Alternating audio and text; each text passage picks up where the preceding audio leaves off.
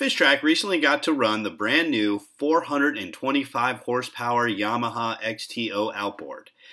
We ran it on boats with single, triple, and quad outboards up and down a secret stretch of river in Alabama, putting it through all kinds of different scenarios, and man, were we blown away. Not only is it fast and powerful with tons of compression and torque, the engineers have really gone the distance, creating a new prop electric steering system, and there's a lot to talk about. We think you're going to be hearing about this motor for a while, so here's just a quick taste of some of what it can do. And oh yeah, we went faster than we've been in a long time.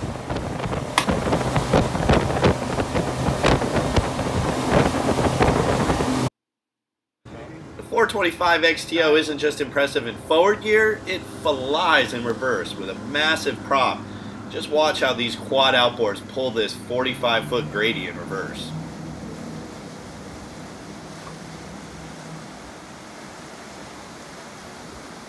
Imagine doing that on a Blue Marlin.